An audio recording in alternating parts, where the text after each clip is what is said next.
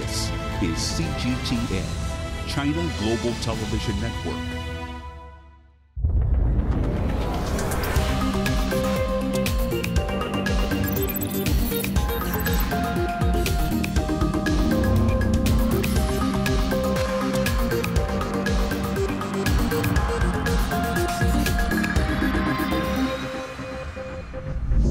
Frankie McCamley in Scotland to find out how plastic is being used to build recycled roads. And I'm Emma Keeling in central London, where a company is harvesting insects, which they say could revolutionise farming and help the planet. And I'm Shini Somara, finding out about drone photogrammetry and how it can help us understand the migration patterns of grey whales.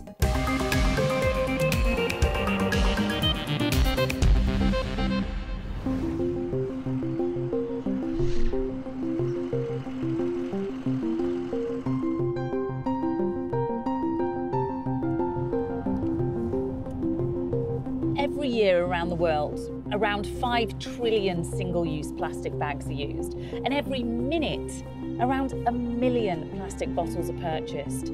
And half of all of that plastic that's produced is designed to be used just once and then thrown away. But what if, instead of being incinerated or thrown into landfill, plastic could be used to build roads like the one I'm driving on? I'm Frankie McCamley and I'm in Lockerbie in Scotland to find out about recycled roads.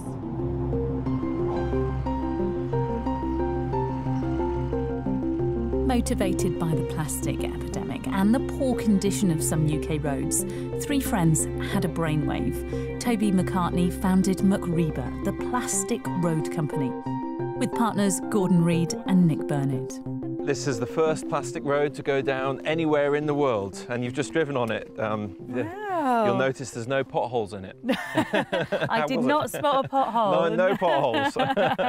no, and it looks it looks just like any other road. It's not bouncy. It looks exactly the same. it does exactly the same as any other road, but yeah, there's plastic contained within this mix of asphalt that's produced to, to form the road. How did you come up with this idea? Well, I remembered something that I'd seen in India where what they were doing is they were employing people as pickers and they would go and pick out various items of litter, plastic litter. They would stick it into potholes, pour diesel all over it, set it alight, all the stuff would melt down and form a seal in the hole. So you decided to test this on your own driveway. I knew with limited chemistry background that there must be some genetic code between the plastic, which comes from an oil based compound that's fracked from the ground, as well as bitumen that could get one back to the other. Mm. And so that's what I started to do. The initial test on his driveway six years ago proved successful, and the company was formed to commercialise the idea. So, welcome to MacRebur. Thank you. After 18 months of testing and trialling to find a way to safely use plastic in our roads, they found what they think is the perfect recipe. To begin the process of building plastic roads, you need a lot of waste plastic. Luckily, there's no shortage of that. So, this is some of the uh, plastics that make up one of our particular mixes. Right, and, and what kind of plastics are we looking at? Where has this all come from? Well, we're looking at various different plastics that go into this, but all of this plastic has come from plastics that can't currently be recycled. So you can see maybe some old bottle tops that are in there. That looks like a bit of a bottle top. Yeah. There's some, um, oh, there's all sorts of different things in there that, well, if we weren't using it, it would be destined for landfill or for incineration. Much of it will end up in our oceans. And, and to me, this looks like a huge amount of plastic, but really, is this just a drop in the ocean? We'll, we'll use this in a couple of days. So, um, you know, for every one mile of road that we put down with our plastics, we're using over one million one-time use plastic bags in that mix. It's a That's colossal incredible. amount of waste plastics that we can use up in the roads. How do you get this plastic into our roads? So a road is basically essentially made up of two different things. So you've got your aggregates or your stone, most people would call it, and that's stuck together to make a road with what we call bitumen. That's the black oil. So our plastics are used to replace part of that bitumen that goes into that mix. Plastic and bitumen both originate from crude oil, which is formed of long chain hydrocarbon molecules. When distilled in a refinery, the oil is separated into fractions, which are a mix of hydrocarbon chains. One of these fractions, naphtha, is the crucial compound used in plastics. After removing the lighter fractions, the heavier components, including bitumen, fall to the bottom. So this is bitumen here, um, the black sticky stuff that sticks a road together. Um, yeah. And that's the stuff that you would, you would normally drive on or you would walk on if it's a pathway. So that's a bit of road? This is a bit of a road. so as you can see, there's no plastic in the road. It's, although we call it a plastic road, yeah. there's no actual plastic in it. The plastic is homogenized in to form a homogeneous mix with the bitumen that sticks the stone together. And what plastics do, as an example, is we can make that bitumen more stretchy or we can make it uh, not melt at quite the temperatures that a standard bitumen might melt at. What happens if it rains? We've now got plastic in our roads. Are we going to get microplastics running off into our drainage? It's a really good question, but uh, the answer is absolutely not. There is, there's no microplastics. So as you look at this piece of road, you can see that there's aggregates, you can see that there's bitumen, but that bitumen has formed a homogeneous mix with the plastics that have gone into it. So there are no microplastics present to leach off. And of course, every road that goes down, we take leaching tests, we take toxicity tests, we make sure that there's nothing getting out of the road that could be harmful for the environment as well as monitoring the roads once they've been laid. All the waste plastic sourced has to be a certain type of mix. Cami Lauder is the head of quality control. This is the first place that any samples or incoming materials come to be checked for quality control purposes um, to make sure that the polymers are the right kind of polymers that we need for the tasks that we're trying to do for the product. Um, it's thermal analysis which can include polymer identification, lets us know glass transition points, melt points, um, and just to ensure that it does work within the, the bitumen that will be at the asphalt plant. When Cami says polymers, he's referring to the fact that all plastics are made from polymers or repeating carbon-based molecules. The exact makeup of these polymers affects their melting points. Making asphalt requires heat, usually around 180 degrees. All the plastic used is checked to make sure it melts at a temperature lower than this, around 120 degrees, so it homogenises properly without creating microplastics. It's for this reason that they can't use all plastic waste. Well, the materials that we get in, it's all sourced from waste. There's no like virgin polymers involved in it at all if the polymers that we receive in don't melt and don't do what they need to do within our parameters, then it could cause a major problem with the, the finished product, uh, which in turn means uh, faults with asphalt mixes and customer complaints and so forth, which is obviously what everybody's trying to avoid. Once a batch of plastic has passed quality control, it goes into the mixing stage. Plastic granules are mixed with their commercially sensitive activator, a polymer that helps bind the plastic and bitumen with the aggregate stone. Over 500 polymers were tried before they found the one that worked. After being mixed, the product is bagged and then transported to an asphalt manufacturer near to where the road will be laid. At the asphalt manufacturer, the mix is added in with the bitumen and aggregate and loaded onto the trucks. In the nearby county of Cumbria, in the north of England, a £1.6 million deal was signed to build plastic roads. Other projects are also thinking outside the box to find practical solutions to plastic waste. In 2018, the first plastic bike path was laid in Holland, and in Italy, old plastic tyres have been recycled into plastic railway sleepers. As well as the UK, MacRebur is shipping their product all around the world, including the US, Turkey, Australia, and Bahrain. So this is product ready to go out to wherever the road is being made, to the asphalt manufacturer that will then add it to their asphalt, and then the road will be laid from there. As best we can, we also produce machinery here so that people can use local waste plastics in local roads, and that's really where it's at for us.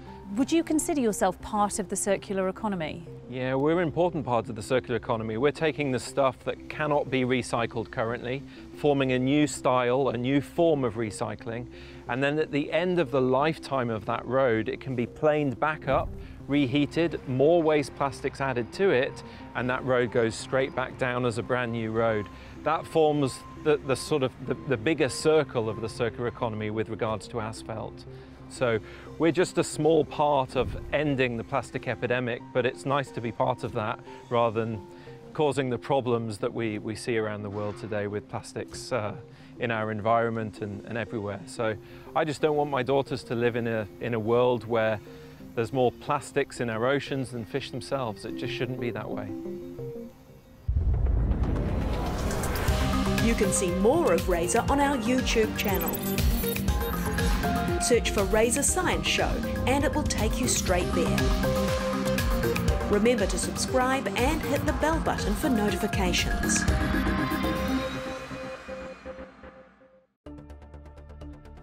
Events have consequences. Words create impact. One more offensive in a long line of battles that's been ongoing for more. Just got to be careful here with some gunshots. Excuse us, excuse us. The world today matters for your world tomorrow. The number of casualties is growing quickly. Why, this is one of the hardest hit towns in the region. The world today, every day on CGTN.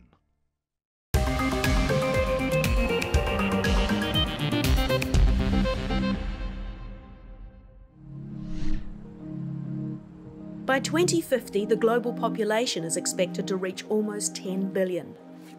Demand for food could rise by 60%, further impacting already depleted land and oceans.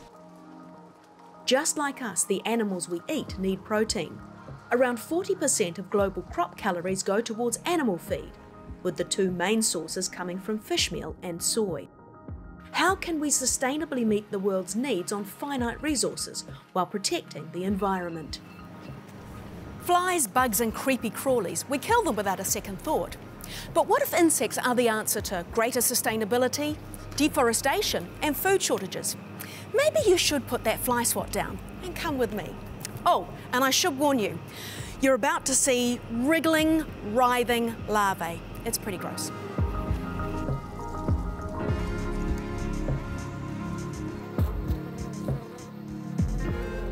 Entocycle's mission is a simple one, to sustainably feed the world using the power of insects. Black soldier flies are one of nature's key recyclers.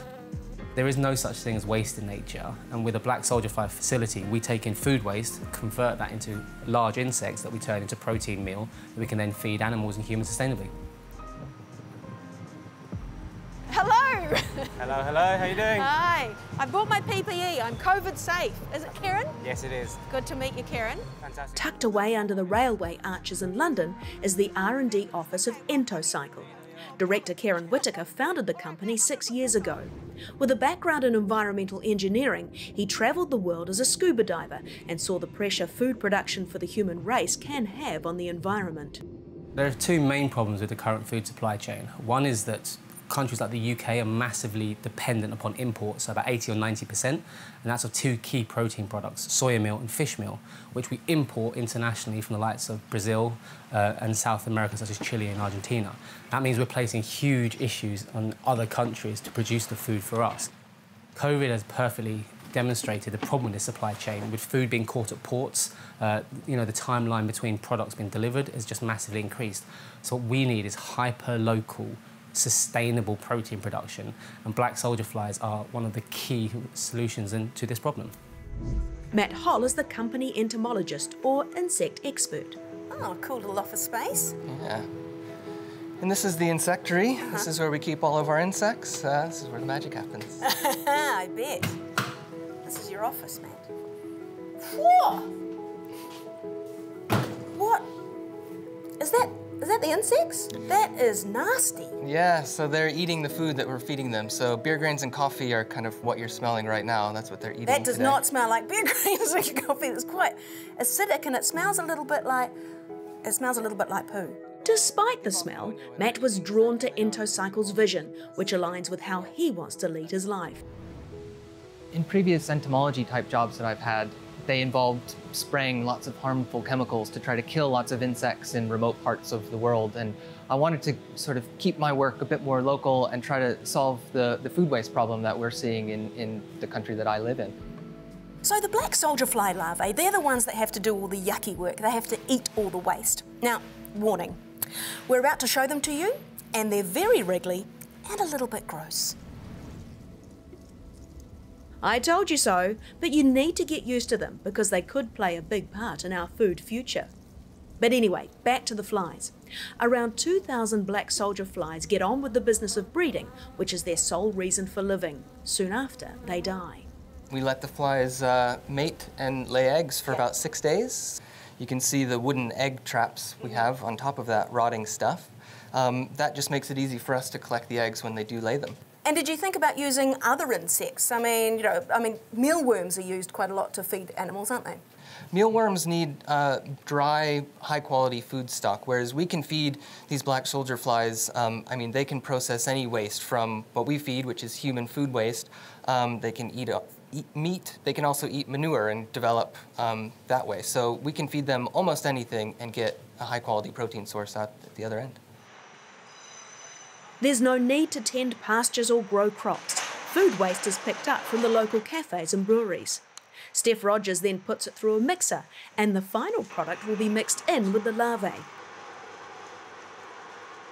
But like any dad, Matt must wait for the eggs to hatch in the nursery, or cupboard in this case. So 24 to 48 hours after we've taken the eggs, um, they'll hatch out into the food here. So we place them on these hatching platforms. Yeah.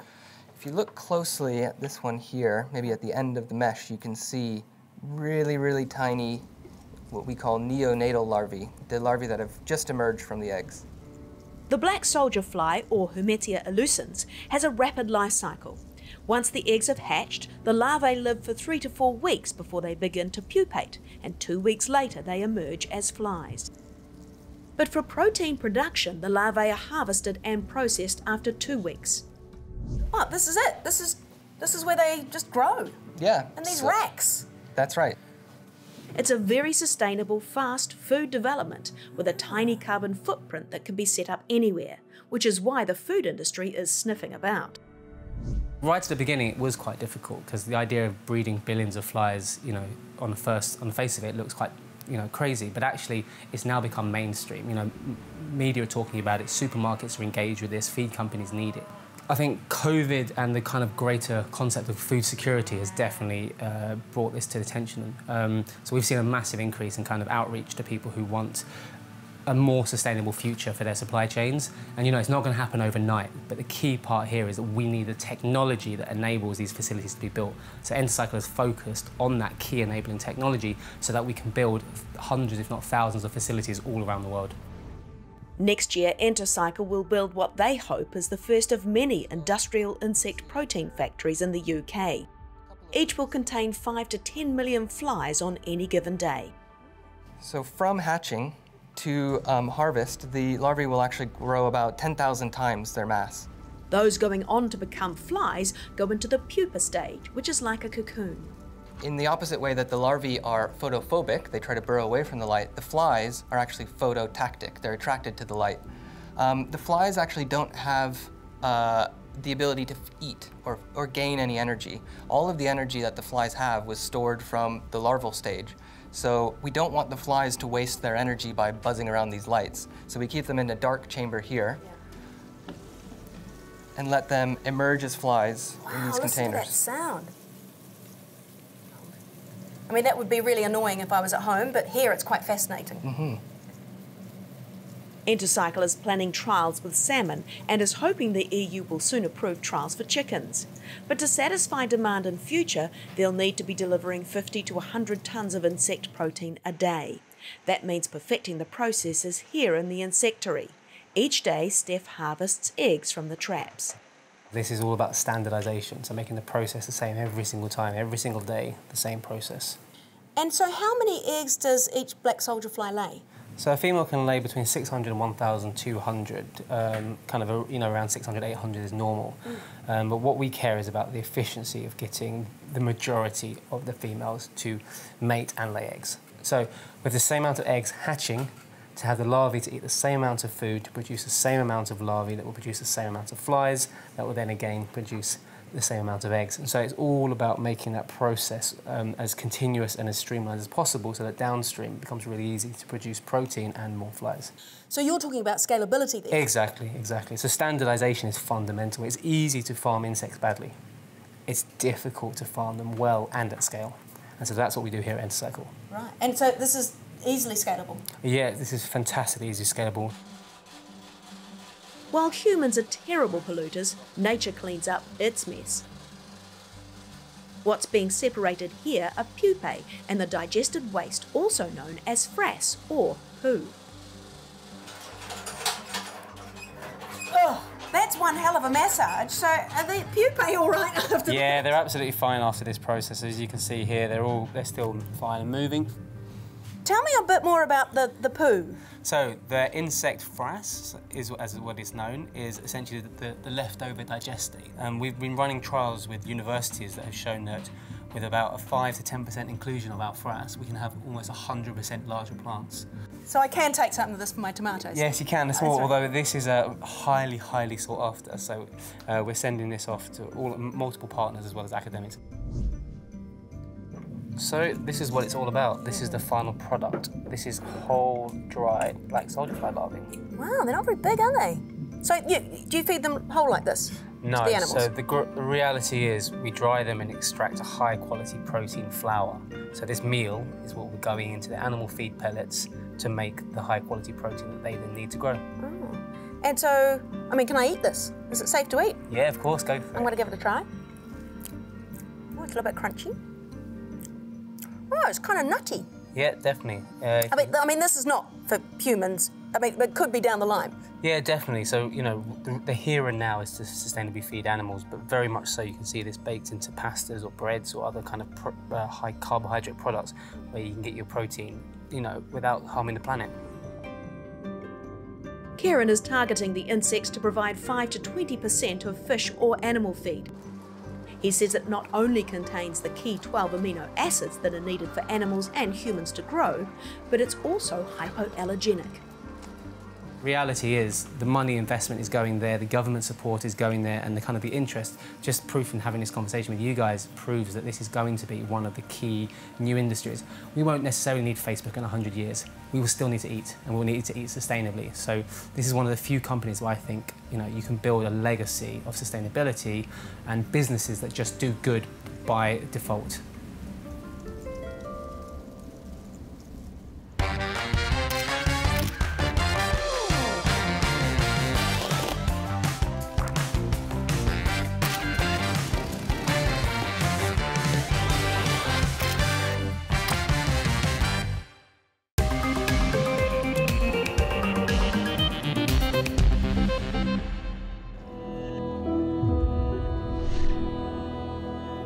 Spring of 2019, an unusually high number of grey whales were washed up on the eastern Pacific coast of Mexico, the USA, and Canada, either dead or dying. They didn't show any signs of having been caught in fishing nets, nor have biologists found any signs of a toxic spill or outbreak of disease that would account for their deaths. They had simply left their breeding grounds in Mexico and never made it back to their feeding grounds in the Arctic. This was declared an unusual mortality event by NOAA Fisheries in the US, uh, which is an event where a lot, lot of animals are dying and, and critical or urgent action needs to be taken to figure out what's happening. So, why were the whales dying? Assistant Professor Fredrik Christiansen and his team had secured funding in 2017 to study these whales, particularly their migratory patterns, so they were in a unique position to help solve this mystery. We don't know that much about whales and not and like what's called bioenergetics. So it's basically like how much energy do they require to to function, how much energy does it cost them to grow, how much does it cost to reproduce, and to survive and so on. The only way to get this information historically is from whaling records. So we had to kill the whales and measure them and measure how much oil they have, how thick their blubber is, and so on.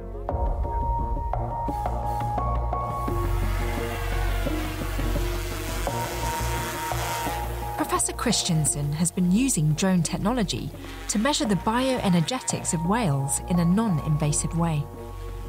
So, how do the drones work? We just fly this over the whales at maybe 20, 30 meters altitude. It has a camera on it on board that we face directly down in a perfect 90 degree angle. So we can measure from the photographs the number of pixels, that's the length of the whale, and the width of the whale. We do this when the whale comes up to the surface to breathe, so you can actually clearly see the whole contour of the animal. And by knowing the altitude and knowing the, the camera focal length, the picture resolution and so on, we can actually convert these pixel measurements to, to actual meters. So we can measure how long the whale is and how wide it is. And from that we can calculate its volume. And by looking at the volume relative to how long the animal is, we get a metric or kind of an index of how fat the animal is, so its body condition. Most of these species spend half the year feeding in one location, normally close to the polar regions. And then they use all this energy, they build up these fat reserves that they then carry with them on their bodies, in their bodies, uh, to the breeding grounds during the winter. And during that time, they're not feeding at all. So for them, having really a lot of fat is essential for their reproduction and their survival. So to understand how body condition, how you can measure it, and how you can relate it to survival and reproduction is fundamental to understand anything about the ecology of this species. The drones allowed for many more whales to be easily monitored from the air than with traditional boat based techniques. And we can identify the animals from the color patterns on their backs, both from the drone, or if operating from a boat, we can also take pictures of the flank and identify them. So by doing that, we can actually monitor the same individual for as long as they stay in Mexico, basically. We can photograph the same animal over time and measure how its condition changes. Uh, we can see how mothers, for example, are getting thinner, whereas their calves are growing in size and so on. But over the four years of monitoring, something shocking was revealed. We can see a trend in how the population condition changes over the time all the animals are declining in condition, which would be expected because they're not feeding. But they're declining to a level which is really low before they start heading north. And that level is much lower in 2018 and 19 compared to 2017, which makes me believe that the animals are losing so much condition that they're getting very close to their starvation threshold. And some animals are gonna have passed that threshold and end up dying before they get back to their feeding grounds where they can replenish their energy reserves. So, where along their migration routes are they perishing and why? It's uh, on the return journey. So, if it's caused by starvation, which our data suggests it is, uh, that would kick in most severely at the end of the season uh, because that will have been the longest period of time that they haven't been feeding. And do you know what's causing this? Because we're seeing this decline is happening even when the whales are arriving in Mexico. Something is most likely happening in the feeding grounds. So continued research up there to look at the condition of those animals is the most important, I think. And trying to correlate that with climatic effects and prey availability.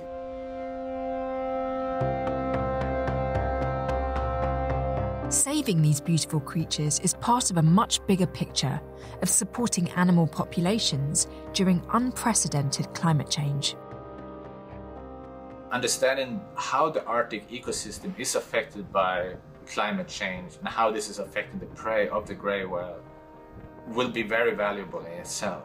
From that, we can start making predictions of seeing, given different future scenarios, how can we expect the population of gray whales to respond to this?